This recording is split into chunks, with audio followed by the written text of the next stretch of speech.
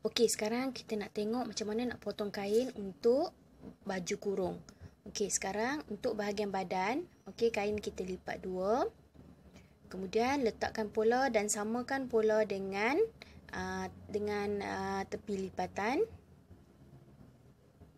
Okey, kemudian pinkan keliling pola untuk menetapkan kedudukan pola dan kain.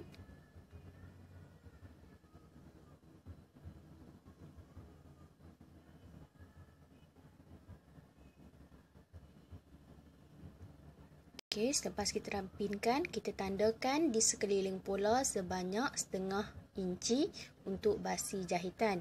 Okey, kecuali di bahagian bawah kaki baju. Okey, untuk bahagian bawah kaki baju, basi jahitan adalah satu inci untuk kanak-kanak ataupun satu setengah inci untuk dewasa. Okey, ni bahagian bawah kaki baju. Saya ambil basi jahitan sebanyak satu inci. Okey, kemudian kita potong ikut basi jahitan yang kita dah tanda tadi.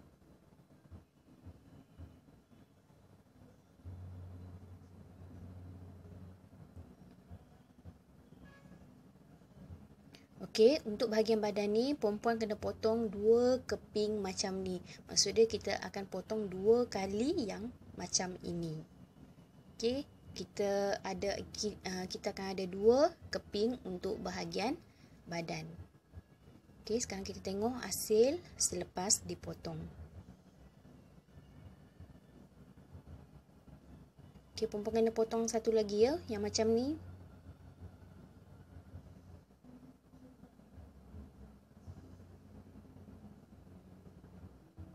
Okey, sekarang kita dah ada sekeping untuk bahagian badan. Okey, ingat untuk bahagian badan kita ada dua keping. Okey, sekarang untuk bahagian pesak, kain kita lipat dua. Kemudian kita lipatkan sekali lagi. Okey, pastikan uh, kain yang kita lipat tu uh, cukup untuk pola dan basi jahitan.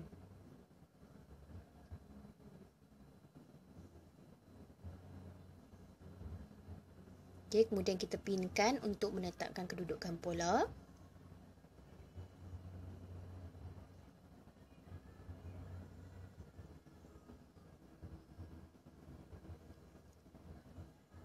Okey, kemudian dah pin semua, tandakan basi jahitan di sekeliling pola. Sama macam bahagian badan tadi, di sekeliling pola setengah inci dan di bawah kaki uh, pesak adalah satu inci ataupun satu setengah inci. Okey, kemudian kita potongkan mengikut tanda basi jahitan yang kita dah buat tadi.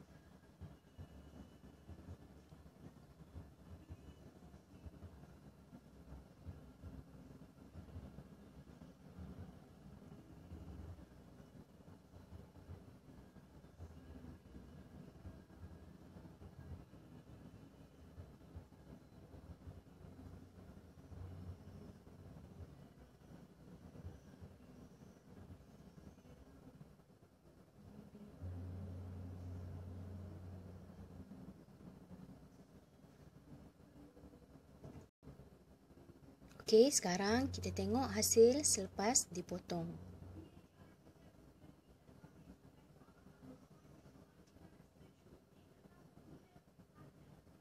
Okey, kita akan dapat empat keping untuk bahagian pesak. Maksudnya kita akan ada dua pasang untuk pesak. Okey, sepasang untuk bahagian kiri dan sepasang lagi untuk bahagian kanan baju. Okey, dua keping untuk setiap pasang.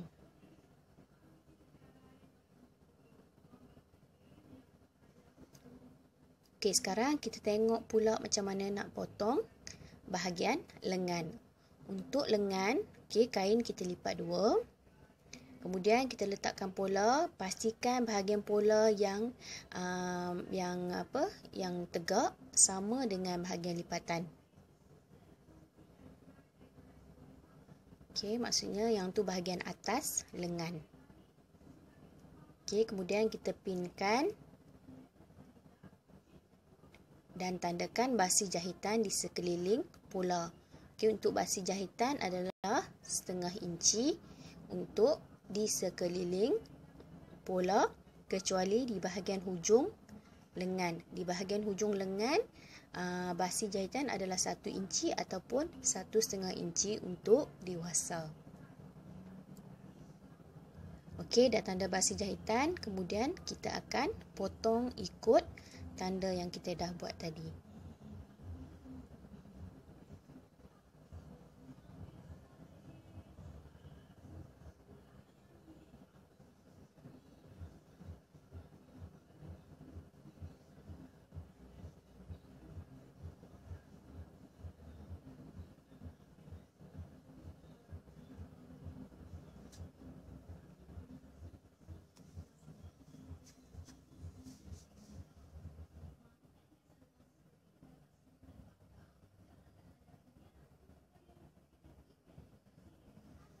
Okey, perempuan kena potong dua kali untuk bahagian lengan.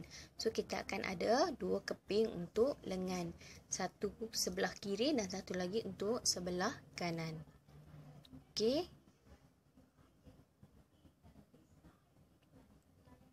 So, yang ni kita dah dapat untuk sekeping bahagian lengan.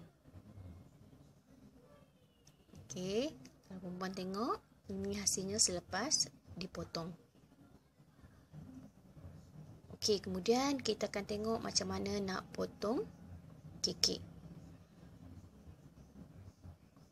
Okey, untuk potong kekek, gunakan kain pecah yang ada tu. Kemudian kita lipatkan dua. Letakkan pola. Okey. Kemudian kita pinkan.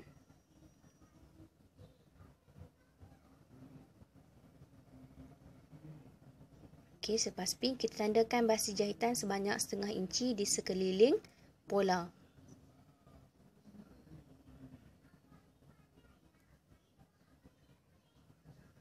Okey, setengah inci di sekeliling pola.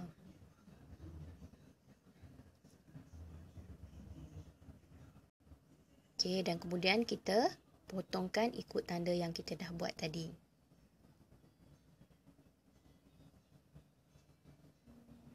Okey, untuk kekek kita akan ada dua keping untuk kekek. Sekeping untuk sebelah kanan dan sekeping lagi untuk sebelah kiri baju. Okey, saya harap perempuan semua faham dengan uh, tutorial cara untuk potong kain untuk bahagian baju. Okey, kalau ada apa-apa masalah, kita akan bincang dalam grup. Okey, perempuan, selamat mencuba.